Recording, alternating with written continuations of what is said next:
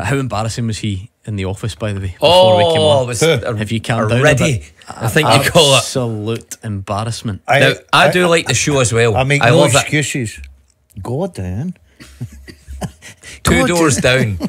Two doors down. Gordon from Two Doors Down was in, and and I, I like him myself. He was Funny all guy. over me, wasn't? But I've never seen him move so Go quickly. I love the show. I love your show. I've watched every episode. He looked at you like you were a oh. psychopath. You were all over him like a rash. You went up and got a picture. So Yeah. this is, if I, I must admit, no offense to him. I'm sure he's wonderful at what he does. I've never seen Two Doors Down. I don't know Oh.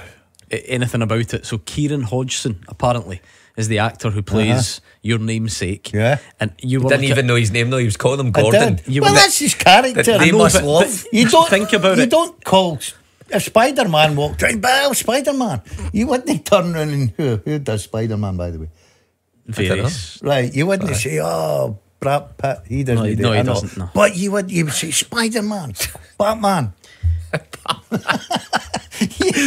Michael Keaton walked in. Batman. Batman. What's happened? I just go thought down. it- It, was. It was the interaction of go down, go down. I know. He put on the accent to speak to the guy who has got an English accent. We spoke about your birthday. You know, a man of your age, sort of jumping up and hanging off the poor guy's neck for a picture. That was a good photo, wasn't it? And then you were trying to give. He was trying to. You were trying to do all that bravado of, oh, uh, Gordon Dalziel. You've probably heard of me, and I uh, did just- it not was- say that. You did say that, and he you- certainly you hadn't did heard of say you. that, and he just looked at He you didn't look the football type. blank.